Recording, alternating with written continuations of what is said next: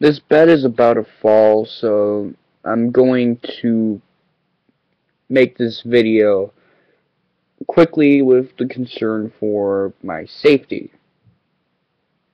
Granted, if this bed falls, I will probably make about a million views or a hundred thousand views from the disaster, and then people will find out that I'm a racist dick, and it'll all go downhill from there. But aside from all that bullshit, let's talk about wrestling storylines. With wrestling storylines, at the very least, I'm talking about the WWF, you could tell a linear story or a circular story. A story that can basically repeat itself again and again and again. Or one of those stories that has a standard beginning, middle, end. Stag Daddy talks about this with the Hogan versus Andre feud, with the Bret Hart versus Owen Hart feud, with essentially, I guess, the Stone Cold versus Vince feud.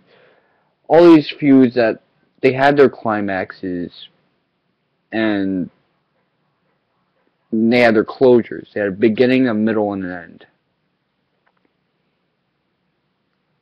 What the WWE does now is pretty simple because it's getting easier for us to voice our opinions on the internet now that social networking is readily available. We have our smartphones, we have our apps, we have our we have all this stuff. Essentially, social networking sites are becoming dumbed down, and instead of being about small circles like they used to be, they're more about big chains. We got people trying to be Facebook famous, Instagram famous, Tumblr famous, and uh, Twitter famous. Doing the same shit everyone else does. And then here comes a possible member of the IWC saying the same shit everyone else says. And WWE can use this as a sort of economic tell where they can respond to the environment, the economic environment, make their decisions that way. They can see supply and demand.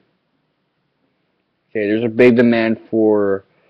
In 2011, there was a big demand for Zack Ryder because the Ryder Revolution was something he created it was grassroots. We started getting into it. We're thinking, oh wow, this guy's funny. His dad jerks off to John Morrison.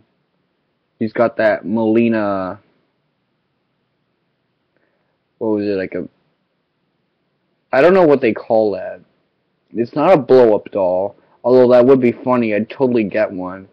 It's that cardboard cutout thing.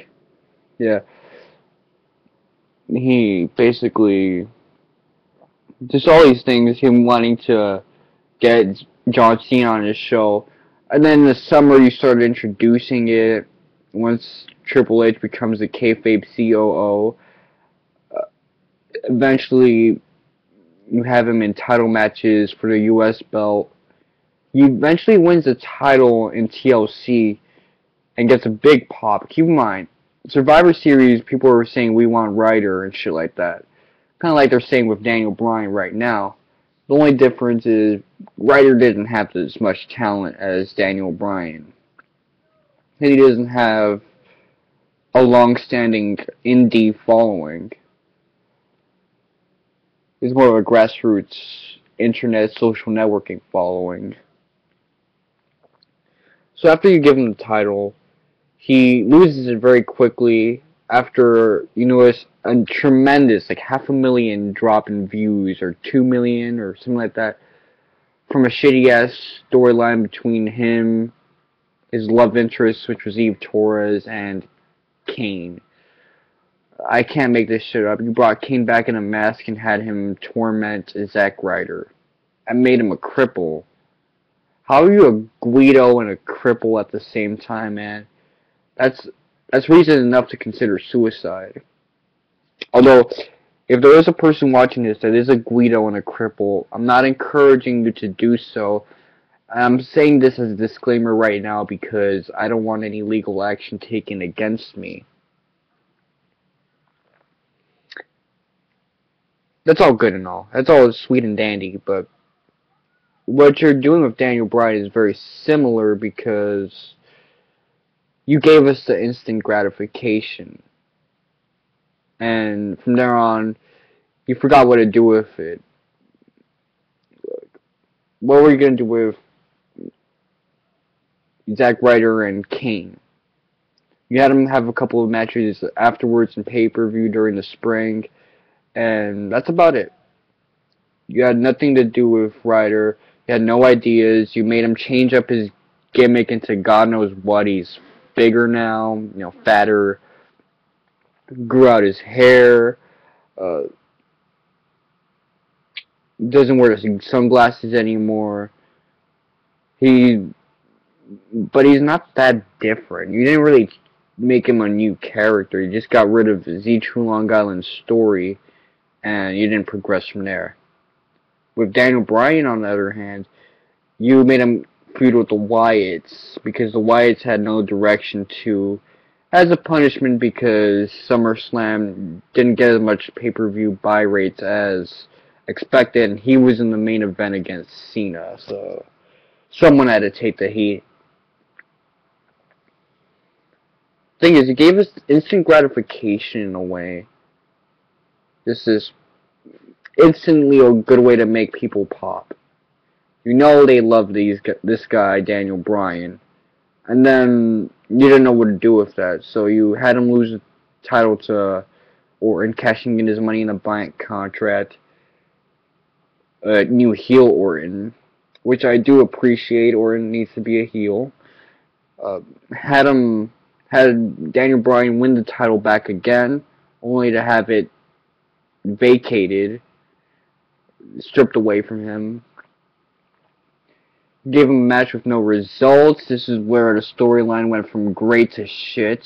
And then you had Shawn Michaels screw him over as a special guest referee, which that is kind of what you use Shawn Michaels for, since you're not gonna have him be the heartbreak kid anymore. You're not gonna have him be the pretty boy since he's not that anymore. He's a miserable ex junkie.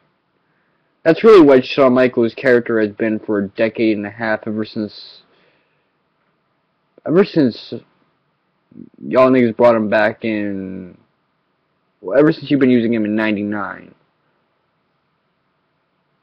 You really don't know how to make him a pretty boy anymore. He's himself now. That's what he plays. It's kind of what PS Power said. And RIP to him. I don't know where the fuck he is. Hopefully he comes back in a near distant future. so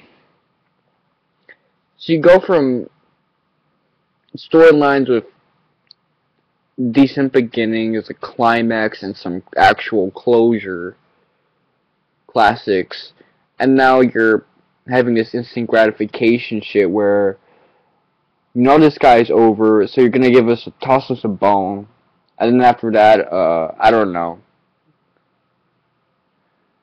And really, I'm not to complain about it too hard because consequences showcase that viewers do drop when you do lose direction with your characters. It's happened all the time.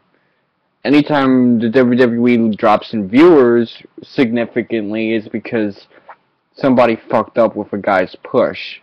They gave him a belt and for instant gratification to get the fans happy, and they didn't know what to do after that.